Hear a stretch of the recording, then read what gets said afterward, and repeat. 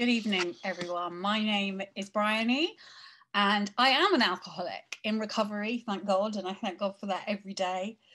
Um, I'm here tonight. I feel incredibly honoured to be hosting this event, uh, this bookish exploration of alcohol and relationships. Um, it's Alcohol Awareness Week this week, and uh, tonight we will be, well, all of you, by being here, are raising money for this amazing charity called AdFam, um, which you can see on Twitter, which is at AdFam UK. Um, we're going to be exploring literary narratives on addiction relationships. Um, we tonight i sorry i should explain who i am. I, I, I just told you i'm an alcoholic but i'm also a writer and i've written about my experiences of um, alcoholism uh, as uh, being an active addiction as a mother in a book called glorious rock bottom and i'm going to read from that a bit later but um, more importantly, tonight we have with us two incredible authors who um, we're going to be coming to just in a minute. We have Douglas Stuart, who wrote Shuggie Bain, a book so beautiful that it won the Booker Prize last year um, about a boy's relationship with his alcoholic mother.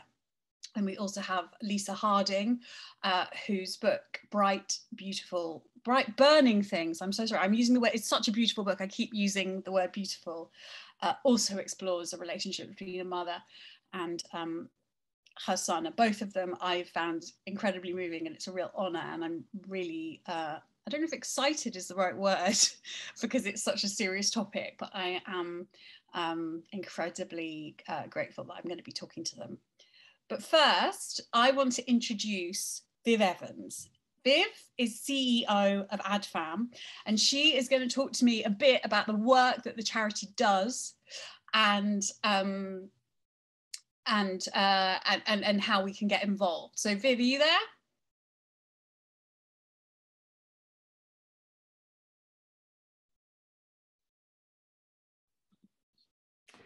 I'm here.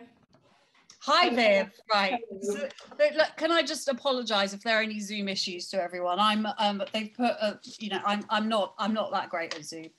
Uh, and I'm completely overwhelmed by being in the company of all these amazing people, which is a little bit. Um, but Viv, tell me, thank you so much for being here tonight. Um, tell me about AdFam. Okay, well, AdFam was set up in 1984 by the mother of a heroin user and she could not find any support for herself. She was absolutely desperate um, with the stress and anxiety that the situation was causing for her. So she set up AdFam. And um, AdFam has been going, I hope, from strength to strength since then.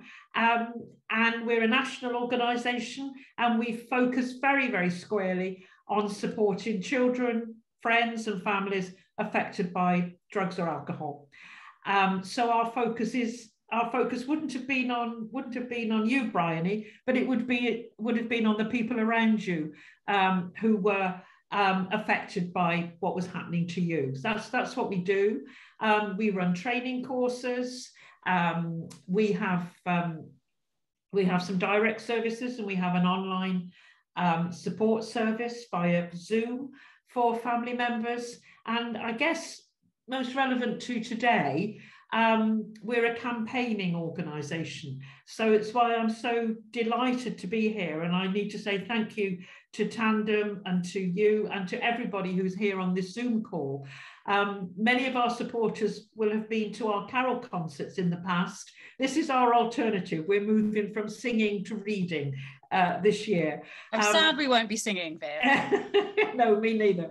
Um, but it's um, I just want to say thank you um, and to the to the panelists because it's only through speaking out about these issues that we believe that we can make change and have an impact. Um, and people who have a drug or alcohol dependency and the people around them, they do suffer a stigmatization, shame, prejudice, discrimination, and we want that to stop. Um, we know from our work, our recent surveys that of YouGov survey, um, that about 5 million people in this country are affected by somebody else's um, drug or alcohol dependency. And we've really, and what we need to do is to be brave and speak out about that because I think it's only by speaking out that we can create a movement and that we can make things change. So people um, with this um, uh, with these challenges will be accepted and will be helped and supported by services and by society um, society in general. So yeah, that's that's what we do, and um, yeah, that's what that's what we do. it is interesting, Viv. I wondered if you, because there's obviously been a lot of um, change in terms of destigmatizing mental health generally, sure. and yet addiction and yeah. alcoholism doesn't seem to have kind of caught up with that. There's still that sense that it is a um, a sort of moral failure. Is that is that a sense that you very much get as a campaigning totally. organisation? I, I, so agree with you, and um, you know, I think we at AdFam are learning a lot from the mental health campaigns. And this is why I'll say again, people speaking out. Um, you know, mental ill health is now, um, it's, it's something we can talk about, something that, um, that, that is not shameful anymore. Um, and, you know, I've been around long enough to remember the days when I worked in a health promotion unit in the Midlands. And I used to go to all the factories at lunchtime and talk to the women about um, breast cancer and breast self-examination. That that is now something that is all that is normalized. We can talk about it. Those years ago we couldn't. So our, our ambition at AdFam is to be able to talk about it, to get support from every people like yourselves and everybody here, um, people who are courageous and brave enough to speak out about it, because we believe that that's the way that we can begin to make some real big changes and for society to accept that this is something that happens. Um, people should not be discriminated because of it. We want that to change. Thank you so much, Viv, and thank you for being here tonight. I am sorry that we won't be singing. It means a lot to me as well. Um, Maybe next year, Bryony. Maybe next year. See what I can do. but we are going to be doing some reading. Um, uh, Viv, um, uh, so I'm gonna I'm gonna read. I feel a bit I feel a bit weird. I'm gonna read from my book, um, Glorious Rock Bottom, which I wrote. Um, it came out uh, during the pandemic. Um, so I got sober uh, nearly five years ago now, um, when my daughter was four. Uh, and so I was in active alcoholism for the first four years of her life and for many years before it. And I had assumed that uh, pregnancy would do for me what rehab and treatment does for many other people. I couldn't believe that I um, that motherhood wasn't. I just it never occurred to me that I would carry on drinking and using drugs in the way that I had before after I had my daughter. And the strength of love I had for my daughter, I thought would be enough, but it wasn't. And um, the shame, the shame of that uh, kept me in that illness for a lot longer than, um, well, it kept me in it for as long as it kept me in it. And I'm really grateful uh, that with the help of many supportive people and organizations, I, I am I am sober and I continue to be sober and I hope I will continue to be sober for the rest of my daughter's life. But I um, wrote a book about my experiences, about my the shame, and you know, there's a lot of shame, um, but uh, shame keeps us sick. Um, and I wrote it because I wanted other women who may be in the same situation to understand uh, that they're not alone, which sounds cheesy, but it's true. So I'm going to read uh, a little bit from it now. Mm-hmm. Mostly my hangovers showed themselves in my irritability with the people closest to me my husband, my child, I am and always will be ashamed to say.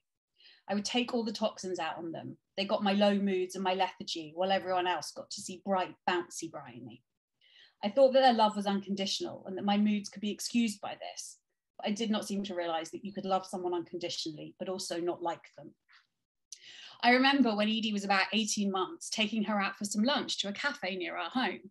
I thought she could do with the fresh air. I thought I could do with the fresh air. The cafe was packed with other mums and their buggies. It was noisy and chaotic, like my hungover head, but I found a spot for us and set about ordering something healthy for us both, featuring lots of broccoli and leaves. The kind of thing that someone might see my daughter eating and think, gosh, what a good mother she must have. But my, my daughter didn't want to eat it. Of course she didn't. She was 18 months old, and the things she put in her mouth were the only things she had any control over. A bit like me, now I come to think of it, although for very different reasons. I was cranky and hungover half the time and probably didn't give her the required amount of attention. But I had allied myself with the slummy mummy school of parenting and justified my behaviour by telling myself that it was better my daughter had a good, honest female role model rather than one who baked and smiled all day long, compliant at all times. Edie threw the broccoli on the floor. I asked her not to. She threw some more on the floor. I started to feel my temper rise. If I could just get some broccoli into her, everything would be okay and I would win at parenting for the day. Why was she being so difficult? I tried softly to reason with my toddler. She turned her face from me in disgust. My whole body felt the shame of it. I got up, took her out of her high chair, and took her to the disabled toilet where I knew there was a hand dryer. Edie hated the sound of hand dryers. They made her cry and cover her ears in terror. They shocked her, these innocent looking boxes on the wall that suddenly screamed and shouted at you if you went anywhere near them. The hangover had removed most of my patience, and the broccoli incident had taken the little that remained. If you don't eat your broccoli, I'll turn the hand dryer on.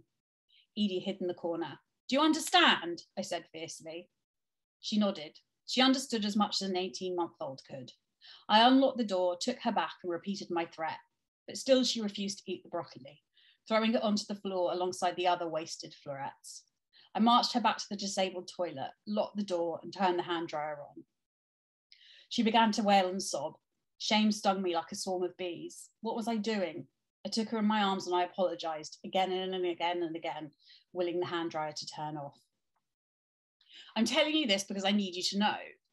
I need you to know that this is the madness of alcoholism, that it doesn't always involve violence and injury and physical harm to yourself or, or others, that sometimes the harmful effects are less obvious, more creeping and insidious than that that sometimes there are a series of actions that seem like nothing but mean everything, like putting your baby to bed without a story so you can crack open the wine a bit quicker, or losing your cool when your baby won't eat broccoli. But also, maybe I need you to know that you are not alone. That's the first time I've actually read that book out in front of people, um, and it's quite. Uh, anyway, um, I am now going to bring in the fantastic Lisa Harding and Douglas Stuart, who are going to talk to me about their books, about um, that are both about addiction and the relationship between mother and child. Hi, Lisa. Hi, Bryony. How are you? Hi, Douglas. Great. How are you? And Douglas, how are Good you both? Thank, thank you so much for being here tonight. So, both of your books are um, they're, they're oh, I've just found them, uh, Douglas. You know that your book moved me incredibly because I got you on my podcast to talk about it uh, earlier this year, and Lisa, you know because I've fangirled you in the green room before. But um, I wanted to ask you about why it was important to you both to write about these subjects and and how easy or hard it was. Um, Douglas, should we start with you? Yeah, yeah. Um, thank you for having me today, Bryony. Uh, and that was a beautiful reading. Um, you know, it took me about 10 years to write Shuggie Bain. And I think when I began writing it, I wasn't sure why I was writing it. Uh, it is a work of fiction and it's different to the narrative of my own childhood, but there's a lot of similarities. And essentially, my mother suffered with addiction from my earliest memories up until she died very suddenly when I was at school one day when I was 16. And I think part of the reason why I wanted to write the book was to, to make sense of a lot of that uh, and to memorialize it, not only the, the hurt and the pain and the loss of my mother, who was a, a wonderful, generous, bright, determined, beautiful woman, but also to memorialize a lot of her strength and her resilience and her her dignity. You know, uh, the character of Agnes Bain has a lot of dignity. But also, as a son of uh, a mother who suffered with addiction, I was trying to understand her beyond my mother. And fiction's a good a good device for that because you have to understand a person in their entirety as a woman as a daughter as a friend as a foe you know as a as a jilted wife and and of course i was just trying to understand my own mother through writing this fiction but i'd found throughout my entire life it was incredibly lonely to be the son of someone who suffered with alcoholism um, as a child and then also as an adult. There was never any way, I didn't have any outlet to discuss that with someone. And so I think in writing the book, I was trying to trying to really sort of start the conversation for myself. Lisa, your um, your your book, Sonia is the um, I am going to call her a heroine. Actually, she's the heroine of the book and her anti-heroine. Anti-heroine. um, again, you know, I it's, it's the same actually. Uh, Shuggie Bain. I always people, you know, people mentioned that it, you know, people always say it was a very hard book to read, but I saw it as a love letter to mm. Agnes. Mm. And similarly, but I what I, your book, I was reading it, and what occurred to me is that it's almost it's like it's a it's a powerful piece of feminism. Your book, like it really, there was so much to unpick from it. But can you talk to me a bit about why you wanted to write it? Yeah, so my starting point for Sonia, she's really a composite of, you know, many people I know and love and aspects of myself actually. And I started her, so she's primarily she's an actress who isn't acting.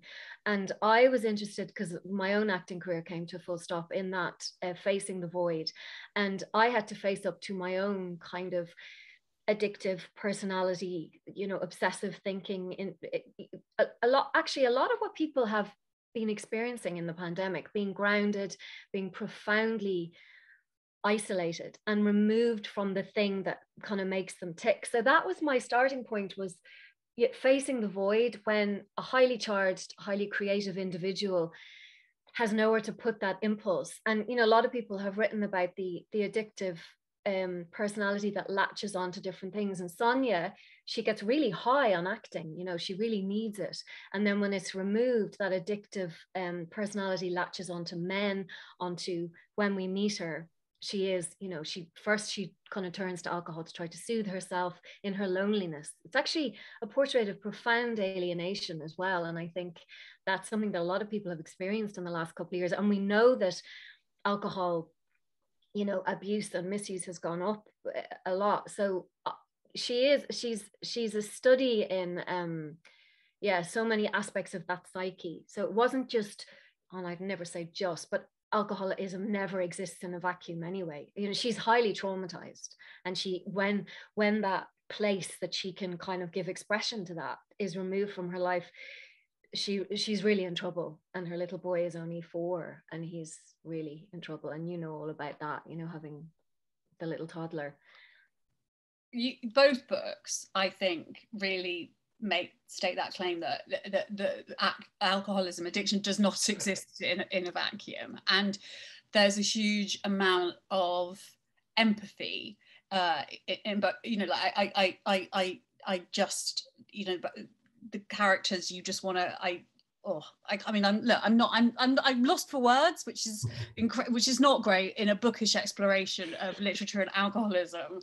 But um did you both want to I, I, know um you know you've mentioned Lisa that I read an interview with you where you said no one in Ireland uh, tends to be untouched by addiction so I know that there is a personal experience for you did you want did you want to get that kind of empathetic compassionate um, view of an alcoholic across. Uh, yeah, absolutely. I mean, she's not that sympathetic a character. She's pretty hard to live with, and I know a lot of readers go, "She's she's like she's she's really hyper saturated and hyperbolic." I think it's the theatrical element too, but it's the disordered mind, you know, and it's it's what you do with that disordered mind. And she's so just in brief, Sonia didn't has no memories of her mother so for her, becoming a mother was very triggering.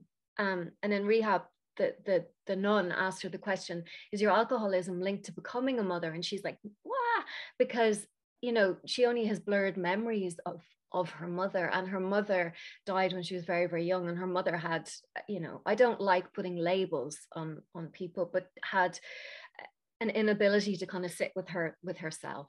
So um, yeah and how many people are struggling with this at the moment in different shapes and forms you know? It, it, it's very pertinent to have these discussions right now and to find other ways of coping um, with those feelings right? Of just not being able to sit in your own skin. Mm. douglas if you i mean i i know you, you must get endless feedback about shuggie what are the what are the does this it does it you know it must resonate a lot personally with people what are the kind of messages that you get you know one of the things that always touches me the most is when people say that uh, when they share their own stories. And I, I get the great sense from readers sometimes that it's I might be the first person they've told it to outside of their family unit. And I think that talks a lot to what Viv was talking about earlier about the stigma of it, especially because readers often tend to be women and perhaps they've been suffering with or a lot of my readers tend to be women. And maybe they've been suffering with addiction themselves so they come from a family that also has addiction. And like agnes in the book you know i set the book in scotland as lisa was saying everybody has some relationship with alcohol whether it's too much or whether it's way too much you know um, and the men are allowed to drink very heavily, but it's when the women start to fail in that way that the stigma really comes to the surface. You know, Shuggie is a book that looks at the failing of men, looks at the failing of government, of a city, of Thatcher, and everything can move along until a mother fails. Mm. And that, when that happens, then you're really in trouble as a as a family and as a community and as a society. You know, because I think women hold so much of it together but then we're not allowed to talk about it because it happens in the interior it happens at home it's not a public thing often and so when readers come up to me at readings i get i really often share this moment this very private moment with them and and that was something i wasn't necessarily prepared for but i'm, I'm grateful for if grateful is the word Lisa, I sense that resonates with you. I mean, yeah, I, I absolutely adore Agnes. I think she's an extraordinary creation. I read her after, you know, my book was published, Douglas. oh, we very different ways in anyway. But I, I, I, I really, yeah, I really felt that thing of this wonderful, you know, repressed woman who who has absolutely no support, and um, and Sonia, you know, similarly has zero support and the men around her do absolutely fail her her father the man that comes into her life that there's kind of a coercive control thing going on you know she's very vulnerable i mean you have you explore all of that douglas as well and you know you just think god when people are vulnerable you know how they're targeted as well mm. by by Absolutely. by abuse hmm. abusive mm. bullying characters it, it's it's not always of course it's not always men towards women but you know um that's what we both wrote about actually and yeah i um the it's the isolation and the mm. lack of support yeah. Would you would you agree with that sentiment that Viv was talking about that mental you know mental health there's, there's a lot of talk of destigmatizing mental health but addiction and alcoholism are this still as seen as a moral failure um, in, in a way that we don't see, say, depression, anxiety mm-hmm. Now. And um, yeah, is that something that chimes with you, Douglas? Yeah, absolutely. Um, I think we've come a long way. So I'd like to celebrate how far we're coming, because certainly the time where the book is set for me, Agnes doesn't have any conversations about mental health or where trauma can go, or even treating the, the human as a whole, the woman who has dreams and aspirations and a broken heart and feels stuck. There's no conversations around that. And I felt that very profoundly as a child um, you know, it was very much about will you stop drinking and will you admit you've got a problem and then take the steps towards it. And I didn't see enough from our GP or from our community about talking about the, you know, the deep depression that my mother was in and and how sort of trapped she felt in her life. And actually, Agnes's mother in the book, Lizzie, sees it as a moral failing. You know, at the very beginning of the book, she just says to her, pull up your socks, sort yourself out, get yourself back to chapel. Um, as though just when you say that to someone, they can go, oh, right, you're right, sorry, let me let me get that together. But it, you know, there's so much stigma around the moral failing. And as Lisa was saying, men are quite hard to Agnes in the book, but I actually f- wanted to write the hardness as coming from other women because there are such high standards of what a good mother needs to be, especially in tight, uh, you know, working class communities of solidarity where you maybe don't have an awful lot of privacy. And so it's actually the women in the community that isolate Agnes quite harshly because they see this woman who has this enormous sense of self worth, who might be disintegrating on the inside, who is definitely disintegrating on the inside, but they don't find her up to snuff as a mother. They they know that she's coming apart, and so they're they're really quite hard on her. Um, and they see it, I think, also as a moral failing. They see right through her and see that she's she's stuck with drinking it's time for another carol or another reading. I wish we were doing carols. That sounds quite good. Off you go, Douglas. you start. I'll join in, Lisa. no, you wouldn't want to hear your it. extract of Shuggie Bain. Uh, yeah. Douglas, will you read to us from Shuggie Bain, please? Yeah, it would be my pleasure. Thank you. Um, this actually comes from the heart of the book. Agnes, after suffering with addiction after being abandoned by her husband, is uh, actually about to enter this glorious period of sobriety, uh, which is so, uh, you know, just changes everything in her children's life. But Shuggie notices it uh, in his body before he notices it uh, or can understand that the change is coming. Every weekday before the last bell, Shuggie's guts would tighten, and he would raise his hand and ask most politely to be excused. Dough faced Father Ewan would inwardly curse the little boy who seemed regular as clockwork. At first, he would ask the boy to wait, just wait the extra 15 minutes till the school day was finished. And Shuggie, always biddable, would nod with a wince and sit cocked slightly to the side, looking to be in genuine desperate need. His wincing and his huffing would soon start to distract the other children, and the father would acquiesce. Later in the staff room, the soft middled father would joke about what this miner's diet of boiled cabbage and mince might do for the clergy. The polite little boy, the one who clearly knew the difference between may I and can I, had been getting the cramps at quarter past three almost every afternoon of the school year. Father Ewan had come to set his watch by it. So Shuggie would spend the last minutes of the school day sat on the low toilet. He would take his trousers down, only to be safe, but he came to know it was only indigestion. It was the burning bile of anticipation, the rising fear of what might lie at home. Agnes had gotten sober many times before, but the cramps had never really completely gone away.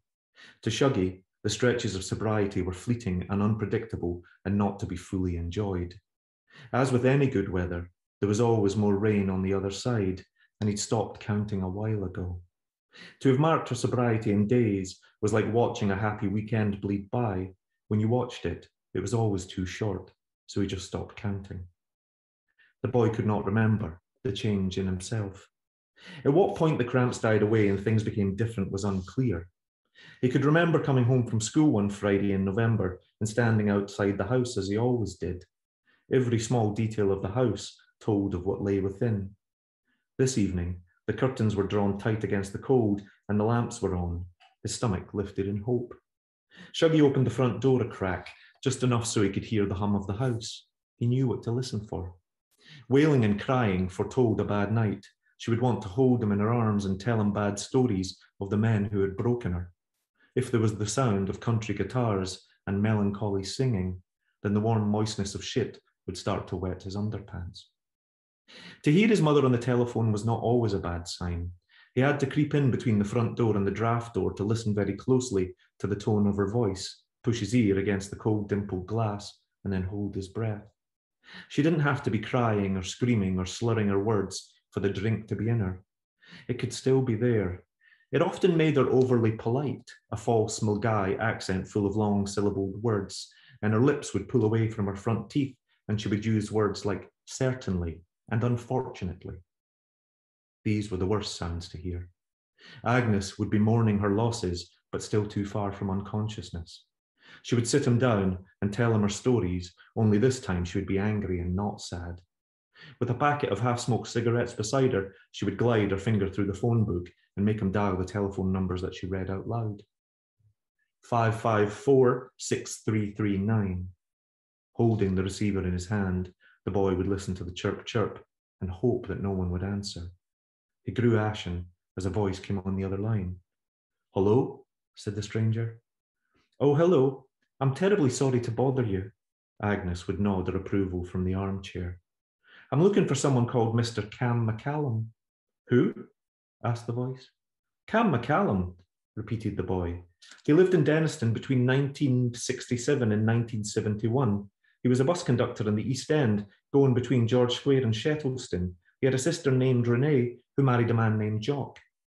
The voice, confused at this oddly detailed information, would say, Sorry, son, there's no Cam McCallum who lives here. I see, Thank you very much, sir. I am sorry to have bothered you. Agnes would hiss with disgust from the front room and make him phone the next McCallum in the book. It was worse when they found who Agnes was looking for. The man on the other line would say, Who is this? I'm Cam McCallum. What do you want? The boy's heart would sink. Oh, I see. Could you please just hold for a minute, Mr. McCallum? I'm transferring your call. Agnes's eyebrows raised incredulously. Is that him? The boy would cup his hand over the receiver and nod. Right, she said, taking up her mug of lager and fresh packet of cigarettes. He would hand the telephone to her like an obedient secretary, and Agnes would arrange herself as if Mr. McCallum could see her through the line. With a fresh cigarette between her long fingers, she would lift the receiver to her mouth. You bastard, she hissed as an introduction. Hello, who is this? You dirty fucking whore master of a bastard. The man would hang up eventually. He always did. Agnes would take a long draw on her short cigarette, then a long pull on the old tea mug. She would stab the redial button on the telephone and smile as it quickly reconnected her. Don't you hang up on me. Don't you dare hang up on me. Who is this? Did you think you could get away with it, eh? The things you did to that young lassie, you bad bastard. There's not a bleeding heart in you, is there? Cam McCallum would hang up again, and if he were wise, he would wrench his telephone from the wall. But Agnes slid her finger through the phone book like it was a menu, looking for something to fill her hunger. She moved on alphabetically to the very next man who'd wronged her, Brendan McGowan. Now wait till I tell you about this stunner. She turned to Shuggie with the receiver crooked under her chin. Losing me was the biggest mistake he ever made. Thank you.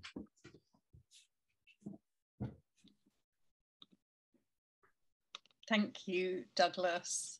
Um, it's such a the the sense from both of the books um, that real sense that I think children of alcoholics, um, uh, both current children but adult children of alcoholics will get is that sense of the kind of walking on um, eggshells, never knowing, as as there, Shuggie, never knowing what he was going to get when he got home. And I got that with, with, with Lisa in Bright Burning Things as well. That kind of, oh, as you say, Sonia is so she's so volatile. Do you know what I mean? And I and I and I, I, uh, but I think it's I don't you agree with me? It's so important that we see complex female characters who experience these things because my own personal experience, when I read about um, alcoholism eh, or, or, or, saw it on television and culture, it was always a kind of like an old man on a park bench, or it was a really cool rock star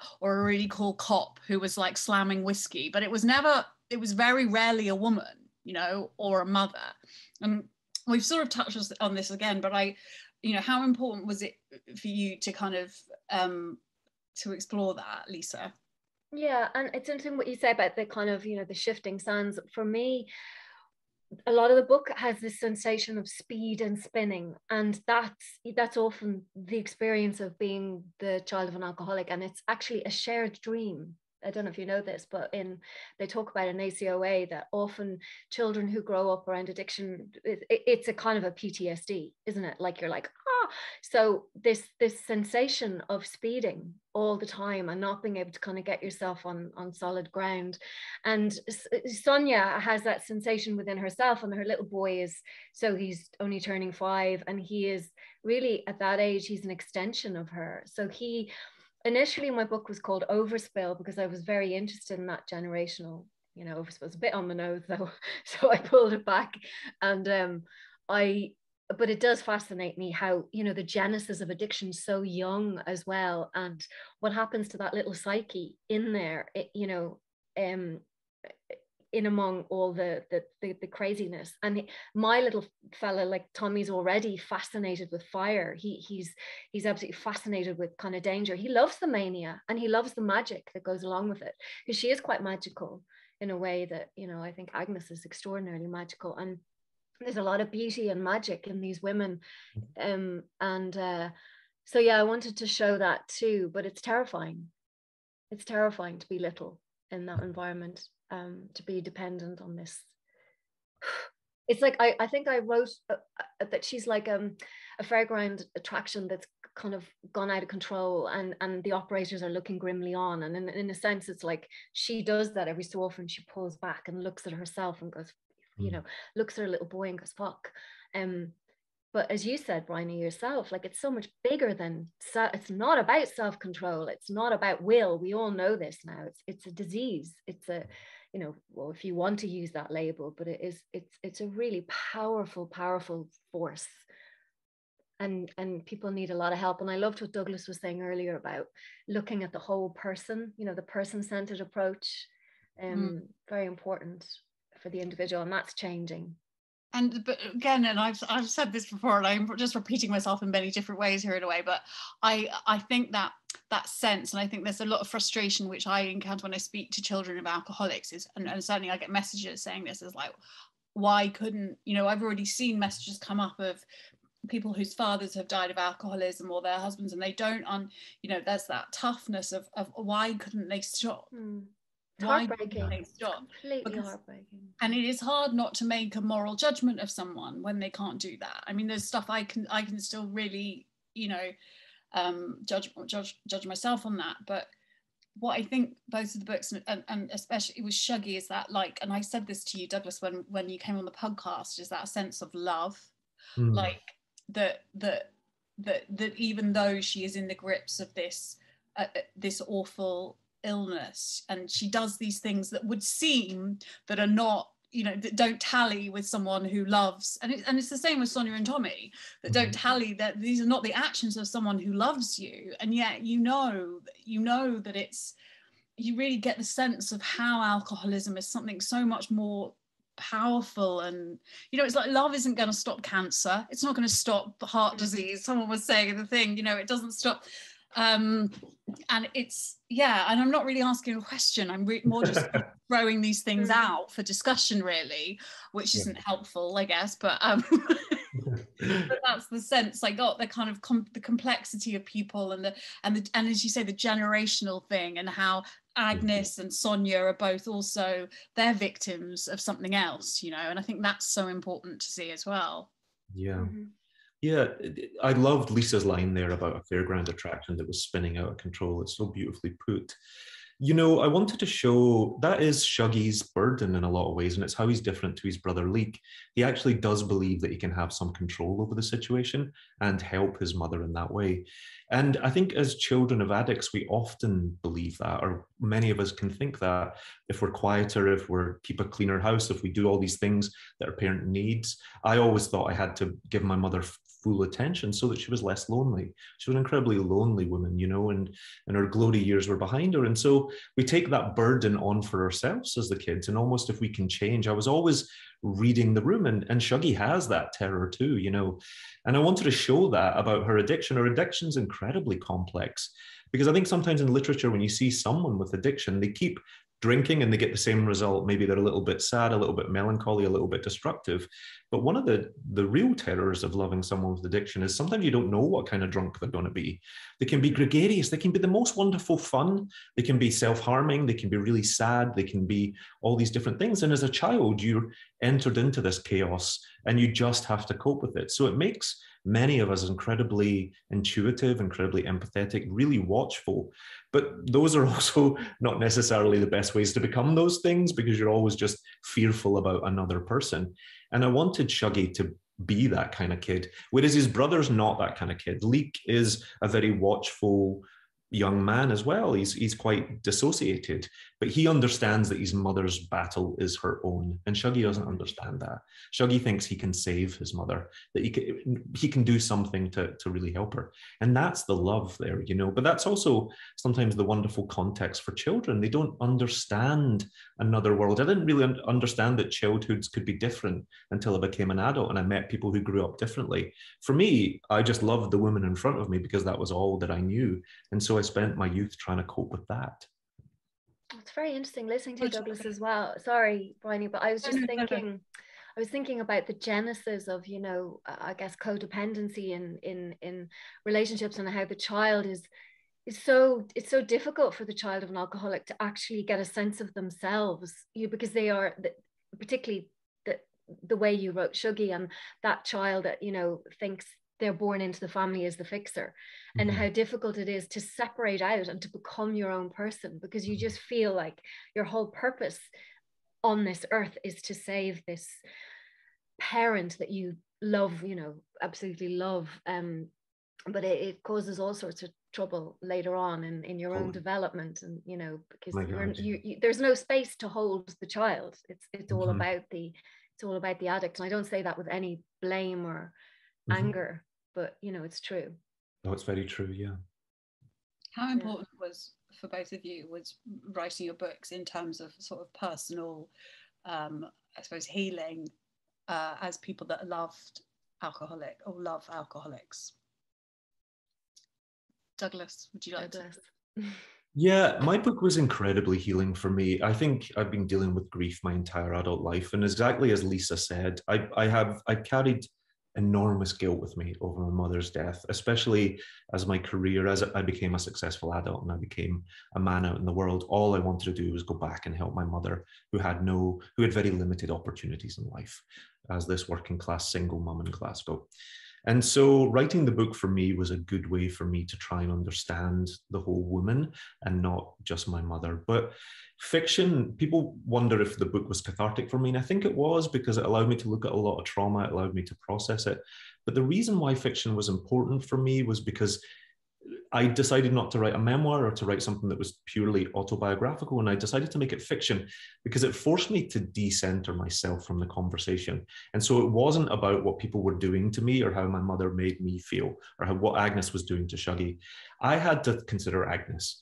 And that was the greatest gift that the book gave me was to think about why men were the way they were, why Leek might be feeling how he was, but really to think about God if I was the character of Agnes, how would she be feeling as a whole, complete person? And that's the most healing thing that it did for me because, you know, I was on stage with Édouard Louis in Belgium recently, and we both sort of came to the realization we've spent our entire adult lives as young queer men trying to understand our mothers, um, trying to see them as complete people and not just as a son mother relationship. And it gave me so much more empathy for the struggle that my, my own mother went through in the 70s and the 80s uh, to turn her into a fictional character.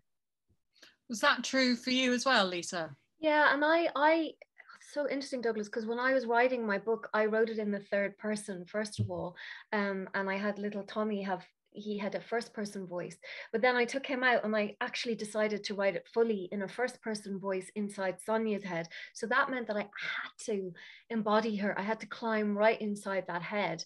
And it's you know it was a difficult place to live um, for years. But yeah it, it gave me a great understanding of the power of addiction and you know the the force that that's there. And as i say i do have my own you know struggles with my own kind of I mean, it's not it's not addiction with a substance, but you know, with different uh, this thing about addiction, people, places, things, you know. But it's a it's a compulsive head that it's it's impossible to you know, it's not like she she doesn't get any CBT, and anyway, CBT wouldn't work, you know, for Sonia. It's like this, um, yeah, it's very it's very tricky. Uh, I don't know how mm, cathartic. I, I I don't know, but it was certainly a big. It was an act of empathy on my part and i felt like i absolutely immersed myself in in in that uh, psyche yeah you i mean incredibly convincing i i i um it's a, a, bit of a cliched question to ask if it was cathartic or not, but I feel that there is, and it's so fascinating that answer of uh, why you you decide to put it as fiction. Because as someone who's only written non-fiction, and I'm in the process of writing my first novel, and I realised that there's there's there's a, you know you can put in so many more boundaries when you're writing fiction as well and it's it's mm. it's that the overspill that you spoke about mm. uh, lisa is is is you know it's protective um uh, we are um coming up to our next carol uh, and the uh, the end of my time with the two of you together so lisa is going to read an extract um, from Bright Burning Things, Bright Beautiful, Beautiful. Bright Burning Things. The, the beautiful yeah. book, Bright Burning Things. um, so when we next come back, I will be with uh, uh, a, comp- a, a wonderful AdFam creative writing competition winner. So um, I just want to say thank you to Douglas, thank you to Lisa. And Lisa, will you do a reading from your yeah beautiful book, Bright. Thank you, Bryony, and thank you, Douglas. Um, yeah, I'm just going to read something very short, uh, two little sections. This is kind of when I say about you know inhabiting the the psyche, the the the, the pulse, the energy of her. This kind of encapsulates her. Speed helps. I've always known this in whatever form it comes. Running used to do it, sprinting, then amphetamines, anything that sped me up helped me outrun the voices. The kick of performing did it, let me step outside of myself, my only awareness, the pulsing of blood in my throat, wrists, veins popping and dancing, swimming, fucking oblivion. Roberto taught me the feeling of speed behind a wheel, usually some kind of Ferrari. Granted, this old jalopy couldn't exactly break speed barriers, but it helps. The car shaking, loose parts rattling, the engine roaring. It creates an illusion of winning, of outsmarting the shadows, outrunning the curses, anything that lifts me out of myself, even for a sweet, blessed moment, even the blaring of the horn in the opposite lane, the car swerving to avoid me. My breath is caught high in my chest and I feel turned on, like when Roberto would take me in a public toilet. I catch a glimpse of my son in the mirror, jumping up and down in his seat, rocking against the belt, testing its limits.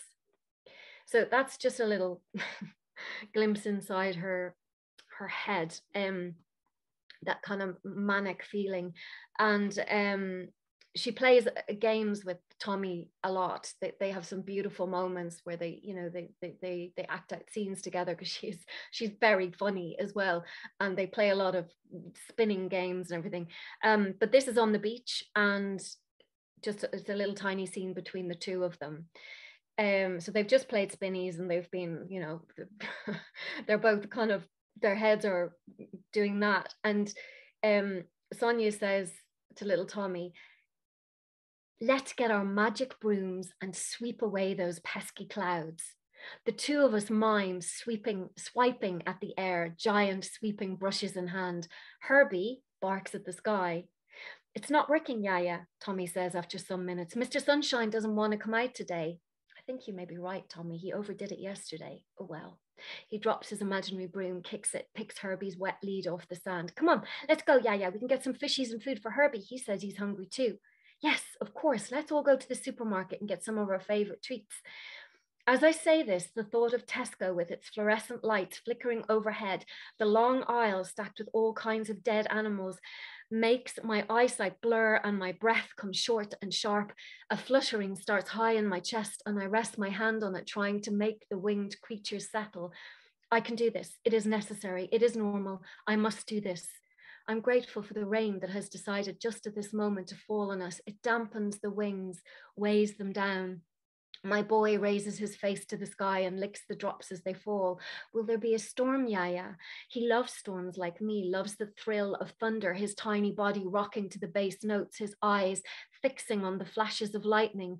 I think of the early summer storm of three months ago when the two of us flew out the front door to the green and danced barefoot, bodies swaying, chasing the flashes, willing the lightning to come find us. Herbie stayed by the back door, whining. Last one to the car is a pooper, I say, running in my bare feet, flip flops in hands. Pooper scooper, he sings, laughing. In the car, we play the game of colours. Any colour we see, we have to describe in terms of something else. Tommy started this one himself accidentally when I asked him to name all the colours he could see inside and outside the car. He started by saying the colour of snot and grasshoppers, yuck, the colour of the sea on a sunshine, sunshiny day, the color of the sky on a cloudy day, the color of Herbie's eyes, the color of rain, the color of Yaya's hair, the color of Yaya's happy. What he is actually seeing as he says this, I can't imagine. What is it, Tommy? What do you see? Is it that seagull? The color of ice cream, he says. And I just to say that section, I just wanted to kind of um, yeah that, that perspective you know the blurring of fantasy and reality there and where the the, the for the child the um what's real what's not. And that's that often happens in the alcoholic environment. Yeah so thank you. Thank you lisa. It's um a fantastic book.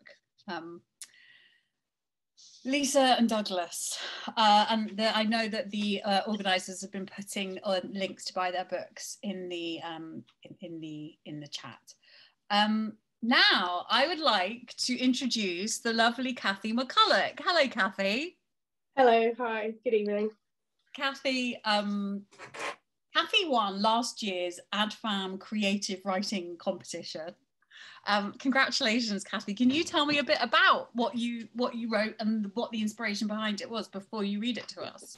Yeah, absolutely. So um, this is the first time I've obviously done anything like this, and listening to you guys this evening has been amazing and just you know just highs and lows. Um, but I have made notes because it's my first thing. So um, AdFam last year put out the writing competition, and through social media, I started to think hmm, maybe I can, maybe I should um, do something, put pen to paper, write how I'm feeling. Um, and allowed me the opportunity to try and understand my situation um, to begin with, I felt guilty, like I was selling out my loved one um, and not protecting them by talking, by actually doing it. But I thought it was important, and it was time to um, put my put my part of the story out there and Can not I be.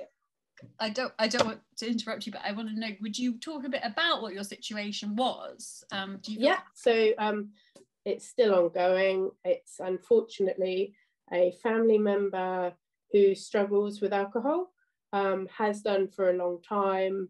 Um, it's come to a head maybe five, four, three, four years ago. Um, you know, up and downs every day is something. It might not be a full on alcohol day, but there's always negatives because of it the family situation um, you know there's always debate and talk and it always takes over every situation the happy memories always have those in your head in your head what's going to happen now um, and we were able to send them to rehab um, try and save them help them. Um, but you know it just it's always it's always there. So i thought it was important to put um, to to put my story out there, um, not as a victim, but as a survivor, just so I could be heard and tell my truth, which reading through the comments this evening is, I think everyone's in the same situation and it's important to have a, a start open talking about it. Because these illnesses thrive in um, they thrive in the dark. They thrive in they thrive in vacuums of, of silence don't they? Yeah. Yeah as as you've all said this evening it's not just that person it's the whole family. Mm. um, and, and does, can i ask you when you hear um, you know people like douglas and lisa talking about that and, and writing about that how does that feel to you um, what lisa was saying about the fantasy and the reality um, for me it was I have a wonderful my sister is incredible. We support each other all the time but we've always you know laughed in a we've always said you know no one would believe our story. It's so unreal. You know you've got the um you've got these ridiculous stories you've got the sad stories just it's so unbelievable and that's a fantasy and reality um that it is truth, it is our truth. And our truth is different to my parents' truth um, and the reasons why they drink. Um, and just listening to Douglas, you know, it's just these are works of fiction, but from a non fiction perspective. Mm. Um, can you tell me, would you want to read your poem? Yeah, more than happy to. to read and then we can talk a bit about it afterwards. Yeah, that would be lovely. Thank you. So, um, right, here we go. I sit here opposite you. My heart sinks. Your silence and remorse is screaming at me. It tells me that even though this time it has been months, not one single sip was enjoyed. I cannot even begin to imagine how you feel about yourself and what you have done to us. Again, I cry as you promise us this will be the last time, no more chances. Oh, sorry, did you? Yeah. Um, did you get any of that? I just, yeah, okay. Um, not believing you for a second, but wondering how you can truly believe in yourself. Despite all the lies and the pain you cause, please listen to my words. They are from the heart. Your disease is our disease, and we choose to stand by you. Don't say sorry. This is not your fault. It was always going to be when, not if. Understand, you have not failed. This wasn't about failing. This is about living. And if you want to, you can choose to live. We cannot choose that for you. We cannot control your thoughts or your behavior, but trying to control us just shows how out of control you have become. But don't forget, you do have the tools to control the beast. So look up and look forward. Please do not stay in the dark, twisted past. Please give us time to mourn, to breathe, to heal. How can you mourn someone when they aren't gone? Because you mourn the person everyone loved and respected, the person who you lost all those years ago. You mourn the person who you can still see deep beneath the surface, within the pools of sadness as you look into their eyes. I wonder why this happened to you, my favourite person in the entire world. Each day is different, but each day is the same. Each day we hold our breath. Is today the day the never ending suffocating grip squeezes a little harder as you fight not to let it pull you under again? The anxiety is beating in my chest, my breaking, my heart breaking again. The sadness, the tears, the overwhelming need to just breathe fresh air, clean air, fresh hope. We believe in you. Please believe in yourself. How different our lives could be, how different our focus should be. But we cannot live a life full of what ifs or maybes. You made us our strongest when we were feeling our weakest. You raised two children who, despite everything, have not broken. It has united us as a family in a bond that is so special that we lift each other up even when we feel like breaking? Shall we choose to be happy? Shall we choose hope and not anger? Shall we not let this disease rot our souls? Let us live in the light and not in the dark. Take my hand, please. Hold it tight. Never forget we are still here, still by your side, still fighting this battle with you. Even if you feel that we are fighting you, we are not we are fighting to save you. Kathy, that's absolutely, utterly beautiful. And there was a line in that which I think kind of sums up the whole theme of, of the evening and um, and, and, and, and what we're here to, and the work that AdFam do, which is your disease is our disease. Um, and uh, how did it feel reading that out, Kathy? yeah it's i haven't actually read it for a while now and it's yeah it's a lo- it's a it's a love letter isn't it? It's a love letter to my dad telling him please you know we are still here. And it hurts a lot. Every day it hurts. Um but it, i do feel proud of myself for writing it. I do feel proud of myself for coming forward and actually you know giving that hope that maybe someone else will hear that and not and feel a little less alone in the world like i have done by sit, like speaking to other people hearing you guys tonight so many different ways. You know it's there's as i think you said bryony there's so you you think alcoholics um people addicted to drugs it's celebrities it's this person on the bench and it's not it's everyone it's your mum it's your dad it's your brother your sister. And it just yeah i'm proud of what i wrote. And i think everyone on this panel tonight should be proud of what we've done because it opens up a forum for people to know that it's not taboo. It is real life and people need to know it's not something that can't be talked about. Kathy um, I think your dad, if he heard, is, would be incredibly proud of you. Um, has he? Have you read that to him, or? Um, in a moment of anger, I threw it at him, but he's read it, yeah, and it's it. We I don't know if I've talked about it with him. Um, it's I'm proud of what I wrote, and being chosen as the competition winner, but it's a you know it's a catch 22. I'm proud of something for a really sad reason. And it and even though I can talk about it with you, I don't talk about it. I've my best friend and my sister and my husband, and that's it.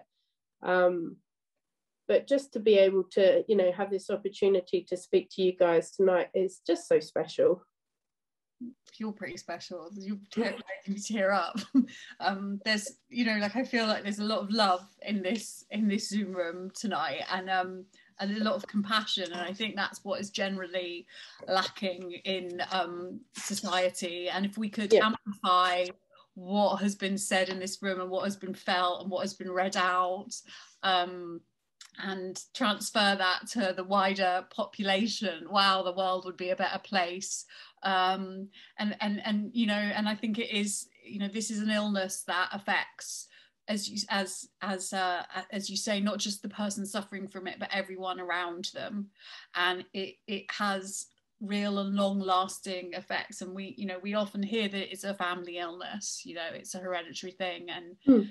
you know i think listening to your poem and listening to and, and, and having read Lisa and Douglas's books, you, you really see that sort of intergenerational and how we are all, um, you know, it's it's an illness that you know. Uh, you said you're a survivor, you know, and I and I think that and not a victim, but it does, you know, it does harm so many people, and I and I wish we could talk about it um, generally as openly as we've been talking about it tonight. Um, yeah. Kathy, I'd like to thank you. I really, uh, I hope you're going to stay in touch. Um, I hope so too. I want to hear more of your your work and um, everyone.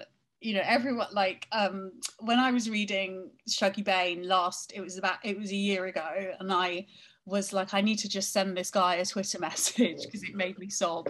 Um, but it made me feel so much love and I and I think I've told Douglas that now like 800 times mm-hmm.